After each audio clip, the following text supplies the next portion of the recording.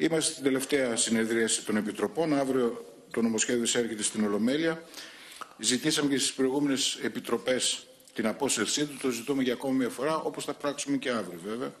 Γιατί θεωρούμε, όχι μόνο εμείς, αλλά οι ίδιοι νοσοκομιακοί γιατροί, ε, το νομοσχέδιο, ένα νομοσχέδιο έκτρωμα, το καταδικάζουν καθολικά, καταδικάστηκε ούτως ή άλλως καθολικά από χιλιάδες γιατρούς, αντίστοιχα τα συλλογικά τους όργανα. Βέβαια, η κυβέρνηση δείχνει ότι είναι αποφασισμένη να περάσει διαπυρός και σιδήρου την πολιτική στήριξη των επιχειρηματικών ομίλων στην υγεία στην ουσία. Και έτσι τα μέτρα που προωθούνται με το νομοσχέδιο όχι μόνο δεν πρόκειται να βελτιώσουν τους όρους περίθαλψης των ασθενών, αλλά θα τους επιδεινώσουν ακόμα παραπέρα. Και το κράτος μέσω της κυβέρνησης, αυτό το αστικό κράτος, οριοθετεί ακριβώς τη δυνατότητα του δημόσιου συστήματος υγείας στο σημερινό ανεπαρκέστατο έως άθλιο επίπεδο παροχών, το οποίο αποδείχθηκε περίτρανα και την περίοδο, πολύ δεν περισσότερο, την περίοδο της πανδημίας. Και τι προτείνει ως διέξοδο, την καθιέρωση σε μεγαλύτερη κλίμακα των επιπλέον πληρωμών ε, για τους ασθενείς, προκειμένου να εξασφαλίζουν ιατροφαρμακευτική περίθαλψη. Και παράλληλα σπρώχνει τους γιατρούς των δημόσιων νοσοκομείων να ενταχθούν στον ανταγωνισμό του ιδιωτικού έργου. Με προσδοκία φυσικά την αύξηση του εισοδήματος.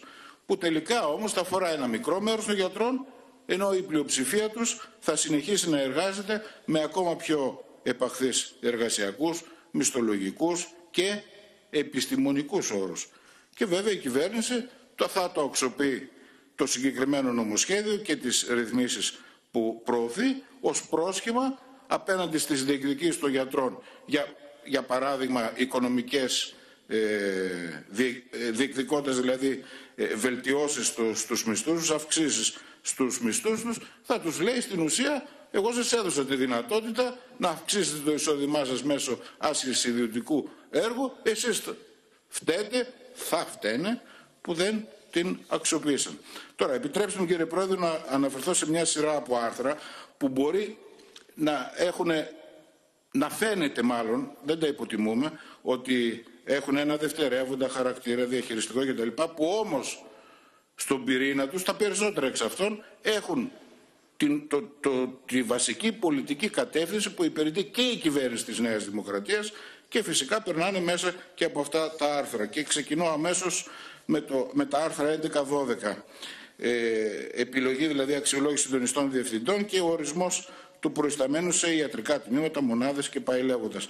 Δείτε τώρα, εμείς λέμε και το κριτήριο αν θέλετε της ψήφου, της ψήφου σε αυτά τα δύο άρθρα είναι ποιο; Η ύπαρξη των ανισότιμων προϋποθέσεων και ο ρόλος φυσικά που αναθέτει το κράτος σε αυτό το θεσμό ή σε αυτούς τους θεσμούς του προϊσταμένου ή του συντονιστή ε, διευθυντή. Και πρώτο κριτήριο είναι αυτό που λέμε το λεγόμενο επιστημονικό έργο που ανάμεσα στα άλλα αφορά την κλινική εφαρμογή, την έρευνα, τις επιστημονικές δημοσίευσεις κτλ.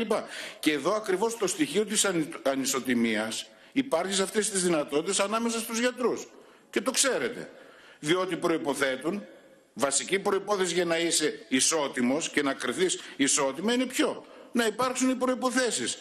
Κρατική στήριξη αντίστοιχα, οι προποθέσει τα τμήματα να είναι επαρκώς τηλεχωμένα, εξοπλισμένα και να επιτρέπουν την ανεμπόδιστη δραστηριότητα εκπλήρωσης ακριβώς για παράδειγμα των επιστημονικών κριτηρίων. Και δεύτερον, η ατομική αξιολόγηση που προβλέπεται περιλαμβάνει διοικητικές, οργανωτικές ικανότητες κτλ. Οι οποίες βεβαίως δεν είναι γενικές και αόριστε, αλλά συνδέονται με τους γενικότερους στόχους προσαρμογής των δημόσιων νοσοκομείων ως αυτοτελείς οικονομικές μονάδες, αυτοχρηματοδοτούμενες οικονομικές μονάδες. Και φυσικά το τι αναλογεί προς αυτό. Πληρότητα, αύξηση εσόδων αθυμίες, όλα αυτά εφαρμόζονται. Μείωση εξόδων, προσωπικό και πάει λέγοντας. Είτε στα τμήματα, είτε στις κλινικές κτλ. Στα οποία ο υποψήφιος, για παράδειγμα, συντονιστής διευθυντής, θα πρέπει να δώσει τα αντίστοιχα εχέγγυα ότι θα τα εφαρμόζει. Άρθρο 13 για την αξιολόγηση του επικουρικού ιατρικού και οδοντιατρικού προσωπικού. Η αξιολόγηση έχει ένα συγκεκριμένο περιεχόμενο σε ένα σύστημα υγείας που η ανάπτυξή του έχει ως κριτήριο όμως το πόσο πιο φθηνά, και αυτό συμβαίνει, θα στοιχίζει ποιο. Ο ασθενής στο κράτος και τα ασφαλιστικά ταμεία και ταυτόχρονα πιο φθηνά θα στοιχίζει και ο εργαζόμενος υγειονομικός. Πρέπει να γίνεται αξιολόγηση. Ναι, εμείς λέμε πρέπει να γίνεται. αλλά στη βάση του κατά πόσον εναρμονίζεται το σύστημα υγείας με υποδομές, προσωπικό, παροχές, αφενός μέσα στους εργαζόμενους και φυσικά το σπουδαιότερο και το βασικότερο να ανταποκρίνεται στις σύγχρονες και συνεχώς διευρυνόμενες λαϊκές ανάγκες. Άρθρο 15. Διαδικασία τοποθέτησης των γιατρών για, την, ε, για άδεια άσκησης ε, ειδικότητας. Τώρα, το κύριο ζήτημα, κατά τη γνώμη μας εδώ, είναι ότι η διαδικασία έναρξης ειδικότητας αποσυνδέεται σχεδόν πλήρως και από τη σημερινό ανεπαρκέστατο σχεδιασμό και θα συνδέεται πλήρως με τις δυνατότητες και τις ανάγκες των νοσοκομείων που έχουν αυτή την αρμοδιότητα. Ε, έτσι λοιπόν το κάθε νοσοκομείο εξαντικειμένο δεν μπορεί να έχει τη δυνατότητα εκτίμησης των αναγκών πανελλαδικά. Αυτό μόνο με κεντρικό σχεδιασμό μπορεί να γίνει. Ούτε από ένα διοικητή ενός νοσοκομείου, ούτε πολύ και αν θέλετε και από υπεάρχη, ενδεχομένως μπορεί να τα αλλάξετε, αν άκουσα καλά στην προηγούμενη επιτροπή αυτό, αλλά δεν αναιρεί την αναγκαιότητα του κεντρικού σχεδιασμού με κριτήριο της μακροπρόθεσμης ανάγκης αναειδικότητα, γιατί αυτά πληρώνουμε τώρα. Αυτά πληρώνουμε τώρα με την πολιτική που ασκήσατε όλα αυτά τα χρόνια, όλες οι κυβερνήσεις. Νέα Δημοκρατία, ΣΥΡΙΖΑ, ΠΑΣΟ και πάει λέγοντας. Λοιπόν, και αυτή η ρύθμιση και φυσικά απορρέει από τη σημερινή άναρχη ανάπτυξη. Αφού δεν έχει κριτήριο τι, τις λαϊκές ανάγκες. Και γι' αυτό η λύση που προωθείται είναι με το κεφάλι κάτω και τα πόδια πάνω. Τώρα, το άρθρο 16. Καθορισμό ομάδων νοσοκομείων και θέσεων γιατρών για άσκηση, για συγγνώμη, απόκτηση ειδικότητας. Τώρα, για την τοποθέτηση γιατρών προς άσκηση, για την απόκτηση ειδικότητας, διατίθεται συγκεκριμένος αριθμός ε, κατέτος, ε, θέσεων ειδικότητας κατέτος και ένα νοσοκομείο. Ανάλογο με τι, με τις ανάγκες του συστήματος υγείας. Εμείς λέμε ότι αυτές οι ανάγκες όμως δεν ταυτίζονται με τις ανάγκες του λαού για υπηρεσίες υγείας στα νοσοκομεία και επίσης προβλέπεται αξιολόγηση αυτών που κάνουν αίτηση για έναρξη ειδικότητας. Δηλαδή δεν φτάνει το πτυχίο της ιατρικής. Σε τι θα αξιολογείται κάποιος που πρέπει να ολοκληρώσει την επιστημονική του κατάρτιση, υπόσταση και πάει λέγοντας. Άρθρο 17. Χρόνος άσκησης στο εξωτερικό κτλ. Εδώ ε, ε, εκφράζουμε τις επιφυλάξεις μας σε ό,τι αφορά την ισότιμη και καθολική αξιοποίηση της ρύθμισης από τους ειδικευόμενους. Γιατί το λέμε αυτό; Διότι η υποστελέχωση είναι ένας αρνητικός παράγοντας που θα οδηγήσει σε αποκλεισμούς. Άρθρο 18 για τη συμμετοχή στις εξετάσεις για την απόκτηση τίτλου ειδικότητας. Εδώ είναι ρύθμιση λαβύρινθος και βέβαια για όλα τα γούστα.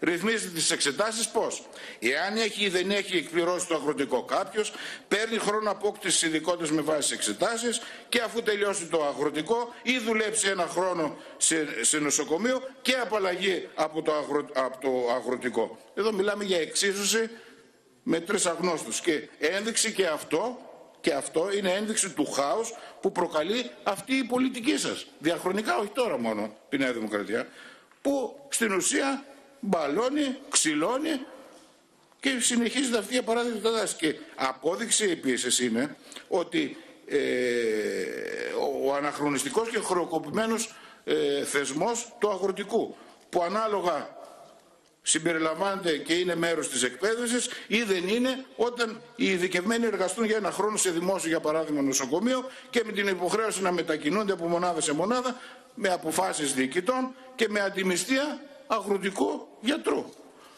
Πάμε στο 22, άρθρο 22, για τη δυνατότητα σύστασης των ΤΕΠ, των τμήματων επιγόντων περιστατικών.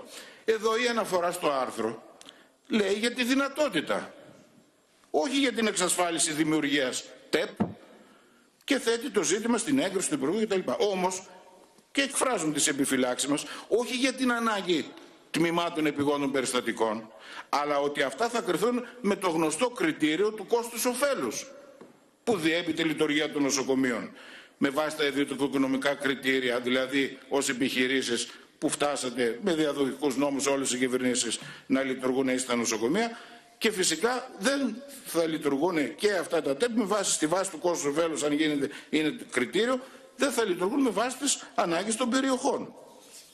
Συνεχίζω με το άρθρο 28 για τη σύσταση θέσεων ειδικευόμενων νοσηλευτών. Τώρα, εδώ συστήνεται 2.250 θέσεις ειδικευόμενων νοσηλευτών. Αλλά δεν φαίνεται πουθενά με ποιο τρόπο διασφαλίζεται ε, η διασφάλιση αυτής της διαδικασίας για όλους τους νοσηλευτές με ορατό αποτέλεσμα τη δημιουργία νοσηλευτών δύο ταχυτήτων. Και βέβαια στην τροποποίηση που εισάγει το άρθρο δίνει το δικαίωμα της διακοπής της ειδικότητας και της επιλογής δεύτερης ειδικότητας. Επίσης, η απόφαση του Υπουργού για την εφαρμογή του μέτρου για τις ειδικότητες γίνεται ύστερα από εισήγηση του Εθνικού Συμβουλίου Ανάπτυξης Νοσηλευτικής και όχι του ΚΕΣΥ, του Κεντρικού δηλαδή Συμβουλίου Υγείας. Άρθρο 37. Δυνατότητα αναστολή αρχισιών επαγγελματικών συλλόγων που λειτουργούν με, στα πλαίσια αρμοδιότητας του Υπουργείου Υγείας. Η αρμοδιότητα αυτή, κατά τη γνώμη μας, εδώ επικαλείται το άρθρο, ε, η αρμοδιότητα αυτή ε, θα είναι ε, με την επίκληση σοβαρού λόγου. Για μας δεν εξασφαλίζει ενδεχομένως πραγματικές συνθήκες. Και η αναστολή αρχιερεσιών θα πρέπει να αποφασίζεται από το κυρίαρχο σώμα ενός χώρου, εργαζομένων, τμήματος κτλ. Τι πια είναι αυτό, η Γενική Συνέλευση. Ποιο είναι; Δεύτερον, ε, συγγνώμη τώρα, 38 άρθρο. Προαγωγή του φυσικού του κετού και κατ' επέκταση για τη μεευτική φροντίδα του άρθρο 39. Τώρα, η προαγωγή του φυσικού του κετού ε, που δεν χρειάζεται ε, υποστήριξη ε, φαρμακευτική κτλ. Και, ε, μπορεί δηλαδή να εξελίσσεται μόνος του, δεν σημαίνει ότι δεν πρέπει να γίνεται σε οργανωμένη και πλήρως στελεχωμένη με ευτική μονάδα. Ένας τοκετός μπορεί να εξελιχθεί με φυσικό τρόπο, μπορεί και όχι. Και ο φυσικός τοκετός ως επιλογή πρέπει να είναι σύμφωνα με την επιστημονική εκτίμηση του γιατρού. Γιατί αυτό θα πρέπει να αποτελέσει ζήτημα, γιατί λοιπόν θα πρέπει αυτό να αποτελέσει, σύμφωνα με τη φιλοσοφία του άρθρου, λοιπόν, ε, ζήτημα ειδικών κέντρων. Τώρα, με έμεσο τρόπο, αυτή η ρύθμιση του συγκεκριμένου άρθρου σχετίζεται με την αντίληψη του, του τοκετού στο σπίτι, η οποία ούτως ή άλλως αναφερθήκαν και κάποιοι εκ των εισηγητών, η οποία με το μανδύα του προοδευτισμού επαναφέρονται αναχρονιστικές μέθοδοι και συνθήκες του τοκετού, απορρίπτοντας όλες τις σύγχρονες δυνατότητες της επιστήμης και της τεχνολογίας για την ασφάλεια του τοκετού. Και τώρα πάμε στη μευτική το άρθρο 39. Εδώ πρόκειται για απαραίτητη υπηρεσία, η οποία όμως πρέπει να παρέχεται, αυτό λέμε εμείς, να παρέχεται πλήρως και δωρεάν από το κράτος και κυρίως μέσω των αναπτυγμένων δημόσιων κέντρων υγείας, της πρωτοβάθμιας φροντίδας υγείας. Και αυτό είναι έξω από την πολιτική φυσικά της κυβέρνησης, όπως και των προηγούμενων κυβερνήσεων. Έτσι λοιπόν αυτή η υπηρεσία ουσιαστικά την αναθέτεται στις διάφορες μορφές επιχειρηματικής δράσης. Ε, και αυτό φυσικά αποτελεί κριτήριο ψήφο για μας και στο συγκεκριμένο ε, άρθρο. Σε ό,τι αφορά το άρθρο 40 για τις διακομιδές των ασθενών. Και εδώ, ανάθεση στον ιδιωτικό επιχειρηματικό τομέα μέσω συμβάσεων.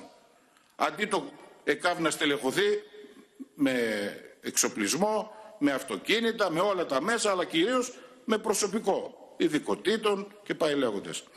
Τώρα, στις ρυθμίσεις, σε ό,τι αφορά τις ρυθμίσεις για τις ιδιωτικές κλινικές, δηλαδή τα άρθρα 42 έως 47, συνολικά η κατεύθυνση αυτών των άρθρων είναι τι, ποια είναι η κατεύθυνση, κατά τη γνώμη να ικανοποιήσουν ανάγκες της ιδιωτικής επιχειρηματικής δράσης στην υγεία. Εδώ γίνεται με τροποποίηση προηγούμενου νόμου προκειμένου να ξεπεραστούν νομικά κολλήματα και είναι τέτοιες οι λεπτομέρειες των, ε, ε, των τροποποιήσεων που σχεδόν φωτογραφίζουν δηλαδή εδώ βγάζει και μάτια, σειρά υποδείξεων των επιχειρηματιών της υγείας που η κυβέρνηση σπέβδει να ικανοποιήσει. Όπως βέβαια γινόταν πάντα με όλες τις κυβερνήσεις, αντίστοιχα σε όλα σχεδόν τα άρθρα, αναφέρεται ο βασικός νόμος και ταυτόχρονα από δίπλα ή παρακάτω οι διατυπώσεις, το κατεξαίρεση, εκτός αν κτλ. προκειμένου να χωρέσουν ακριβώς οι απαιτήσεις των επιχειρηματιών. Εμείς απορρίπτουμε συνολικά αυτά τα άρθρα, του συγκεκριμένου τμήματος του, του νομοσχεδίου και το απορρίπτουμε ε, όχι επειδή συμφωνούσαμε με το προηγούμενο καθεστώς που διέπει τη λειτουργία του ιδιωτικού τομέα στην υγεία, αλλά με αυτή καθεαυτή την επιχειρηματική δράση στην υγεία, η οποία λιμένεται τις ανάγκες του λαού και δραστηριοποιείται με αποκλειστικό κριτήριο το κέρδος, αφού αυτό είναι εξάλλου ο σκοπός της ύπαρξής τους. Στο άρθρο 50 για την ε, σειρά προτίμηση αιτήσεων για την απόκτηση άδεια ίδρυσης φαρμακείου. Η ρύθμιση αυτή μπορεί να δίνει λύση σε ένα υπαρκτό πρόβλημα που, που υπάρχει. Δηλαδή να παίρνουν άδεια συνταξιούχοι φαρμακοποιοί λόγω, λόγω παλαιότητας και αμέσως μετά να την πουλάνε σε νέους φαρμακοποιούς. Τώρα, επειδή όμως στη ρύθμιση περιλαμβάνονται και οι υπεύθυνοι φαρμακοποιοί που έχουν στην ευθύνη τους φαρμακείο, που ανήκει όμως σε ιδιώτη, μη φαρμακοποιό. Εμείς δεν μπορούμε να, για παράδειγμα, να την υπερψηφίσουμε αυτή. Ενώ θα συμφωνούσαμε στο αρχικό, αλλά το ότι υπάρχει αυτή η ερίδνηση που μόλις προείπα, ε, δεν μπορούμε, δεν μας επιτρέπει να, να είμαστε θετικοί έστω σε αυτό το άρθρο. Τώρα, στο άρθρο 51, ε, κύριε Πρόεδρε, δώστε μου λίγο χρόνο. Λοιπόν, στο άρθρο 51, για την προμήθεια κλειστών μονάδων των πλοίων αεροπλάνων με φάρμακα κτλ. Ναρκωτικά. Τώρα, με το άρθρο αυτό νομοθετείται η διαδικασία προμήθειας φαρμάκων, που μέχρι τώρα δεν υπήρχε νομοθετικό πλαίσιο. Λύνει ένα υπαρκτό πρόβλημα. Ναι, το λύνει. Υπάρχει όμως το ερώτημα για την ασφαλή εκτίμηση και χορήγηση αυτή, αυτών των φαρμάκων. Τι σημαίνει αυτό, η ύπαρξη ή η μη, η ύπαρξη λέμε εμείς ότι απαιτείται, χρειάζεται, η ύπαρξη λοιπόν γιατρού, για παράδειγμα, σε όλα τα πλοία. Ποιος θα κρίνει και θα εκτιμήσει τι θα χορηγήσει, ποιο φάρμακο θα χορηγήσει, ανάλογα προφανώς με το πρόβλημα που μπορεί να προκύπτει στους ε, ναυτεργάτες ή τέλος πάντων στο προσωπικό των πλοίων. Στο άρθρο 52 για την ε, ε, σύσταση εταιριών, εταιρείας, εταιριών, τέλος πάντων εκμετάλλευσης φαρμακείου δικού του τύπου. Εδώ τι κάνετε, ρυθμίζετε τους όρους συγκρότησης και λειτουργίας των φαρμακείων εταιριών, δηλαδή τους όρους συγκέντρωσης του λιανικού εμπορίου των φαρμάκων σε ισχυρές εταιρείες φαρμακείων. Και αυτό φυσικά είναι σε βάρος των μικρών αυτοαποσχολούμενων φαρμακοποιών, αλλά και σε μέρος των φαρμακοποιών που θα συμμετέχουν στις εταιρείες αυτές με ανισότιμους όρους όμως. Στο 53, το ωράριο λειτουργίας φαρμακοποθηκών. Ε, μην μου πείτε αυτό τώρα είναι φιλολαϊκό. Έτσι δεν είναι; Ή βοηθάει; Ποιον βοηθάει; Σας τα είπαν και οι φαρμακοϊπάλληλοι στην Επιτροπή Φορέων, εκπρόσωπους των φαρμακοϊπαλλήλων. Στην ουσία καταργείται την πενθήμερη εργασία στους φαρμακοϊπαλλήλους με την επέκταση της λειτουργίας των φαρμακοποθηκών και το Σάββατο. Έτσι λοιπόν η επίκληση του άρθρου περιτήρησης της εργατικής νομοθεσίας, ποια εργατική νομοθεσία πλάκα κάνετε, κοροϊδεύετε, της, ποια, το νόμο Χατζηδάκη δηλαδή επικαλείστε, που έχει αποδιαρθρώσει εντελώς σε συνέχεια όλων των άλλων νόμων προηγούμενων κυβερνήσεων για τις εργασιακές σχέσεις. Που σημαίνει τι αυτό, σημαίνει εφαρμογή του καταμερισμού των ορών εργασίας με τέτοιο τρόπο που οι εργαζόμενοι με τις ίδιες αποδοχές θα λειτουργούν την επιχείρηση περισσότερο χρόνο. Άρα και τα Σάββατα. Και κλείνω με αυτό κύριε Πρόεδρε, για το μισθολόγιο.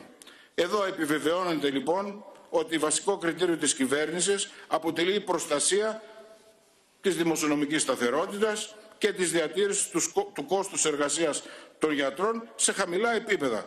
Και σε κάθε περίπτωση οι όποιες αυξήσεις δεν αναπληρώνουν τις απώλειες των μισθών των μισθών των τελευταίων 10 ετών και όχι μόνο δεν αναπληρώνονται οι απώλειες, αλλά στην περίπτωση των ειδικευόμενων γιατρών καταργείται η προσάυξηση ανάλογα με τα χρόνια προϋποθεσίας.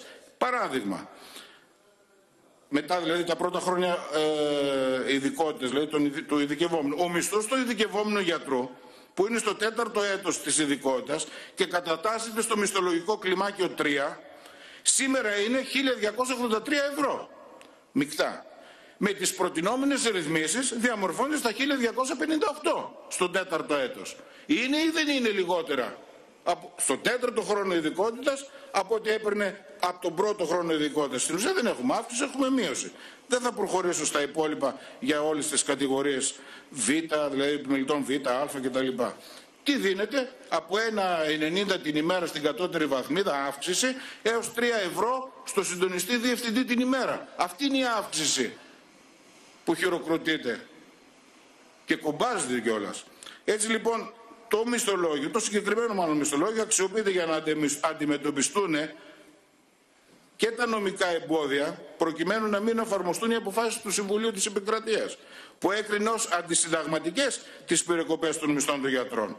Και πρόκειται για μισθολόγιο που οι αυξήσεις που προβλέπονται δεν αποκλίνουν από το φάσμα φυσικά των απαράδεκτα χαμηλών μισθών. Από την πολιτική που στοιχείο της είναι η διαμόρφωση του φτηνού επιστημονικού δυναμικού προκειμένου να συγκρατούνται τα λειτουργικά έξοδα των υποχρηματοδοτούμενων από το κράτος δημόσιων μονάδων υγείας, εν προκειμένου ε, νοσοκομεία και όχι μόνο, και όπως ακριβώς ταιριάζει με τα, με τα κριτήρια και προσαρμογή τους μάλλον με τα κριτήρια της επιχειρηματικής λειτουργίας τους. Έτσι η διαμόρφωση αυτού του μισθολογίου δεν αναιρεί αλλά ενισχύει την πίεση της κυβέρνησης προς τους γιατρούς για να ενταχθούν στις προβλέψεις του απαράδεκτου, απαράδεκτου άρθρου 10 για την άσκηση δηλαδή ιδιωτικού έργου και την ενίσχυση του εισοδήματος από τις πληρωμές των ασθενών και όχι από το κράτος όπως θα έπρεπε.